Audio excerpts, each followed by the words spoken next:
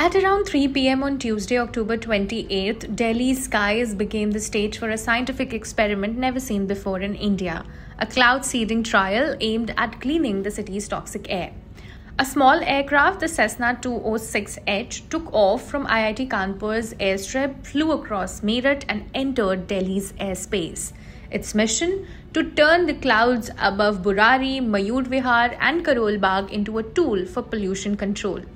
For our viewers' information, today, post the experiment, Delhi's AQI remains in very poor category. Now, the aircraft released eight pyrotechnic flares, each weighing about 2 kgs, loaded with special salts designed to trigger rainfall.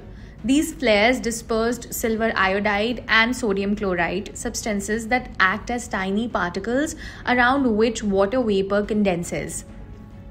So, if all goes well, these particles grow into raindrops and fall, washing away harmful pollutants like PM 2.5 and PM 10 that choke Delhi's air every winter.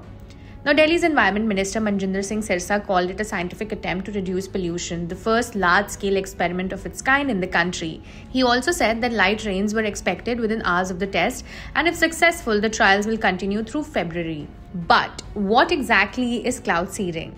Scientists from the Indian Institute of Tropical Meteorology explain that cloud seeding is a weather modification technique developed in the 1940s. It involves injecting clouds with seed particles to enhance rainfall. These can be salts or silver compounds released by aircraft, rockets, or drones. However, not all clouds are suitable for seeding. Experts say the method only works if there's enough moisture and cloud depth, conditions that Delhi rarely enjoys during winter.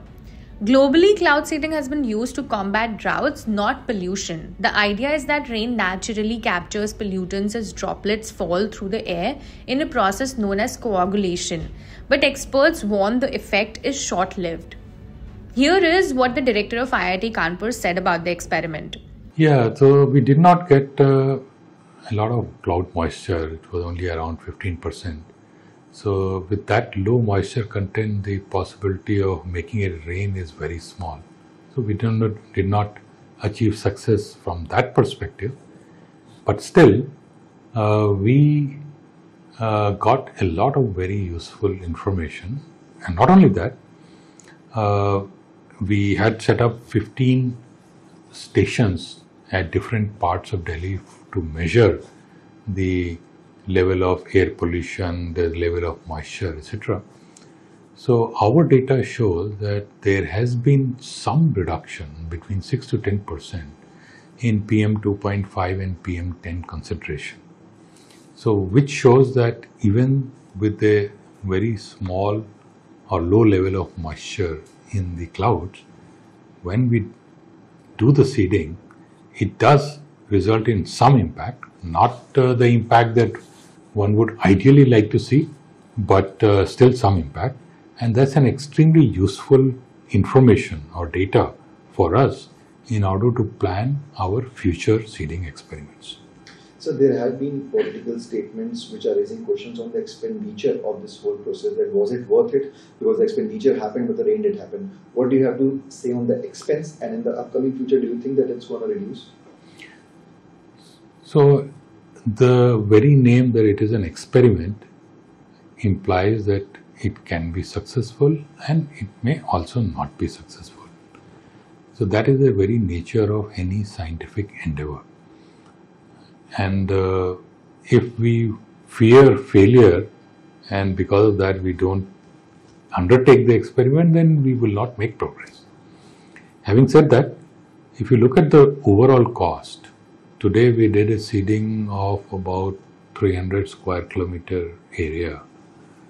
The overall cost of that, in my very rough estimate, would be somewhere around 60 odd lakh rupees, which translates to somewhere around 20,000 rupees odd per square kilometer. And if we do a seeding for 1000 square kilometer, this 20,000 will become 2 crore.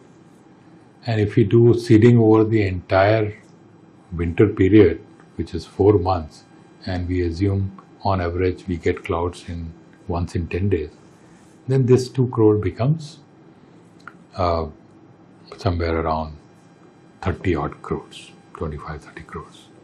So that, in the overall scheme of things, is not a very large amount. The amount of money that is spent in pollution control in Delhi is much, much higher. One last question on 29th of October, will the process continue? How many sorties are you expecting? How many rounds of will you do? Yeah, so uh, we expect to do two more sorties today. Uh, we are also expecting slightly better moisture content in the clouds, finger crossed. So hopefully we will have better results, but uh, only the actual seeding process and future will tell how much we succeed. Sir, can you please throw a light on the process of this entire system? Uh, so what happens during seeding is that we inject a very finely ground mixture of common salt, rock salt and silver iodide into the cloud. I should point out at this stage that the mixture we are using is our own.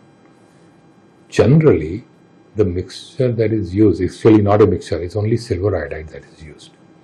But our uh, researchers have come up with a somewhat novel mixture and we inject it into the clouds. Around each tiny particle, water starts condensing, and when there is enough condensation, it falls down at a water droplet. When there are enough water droplets that fall down, it causes rain.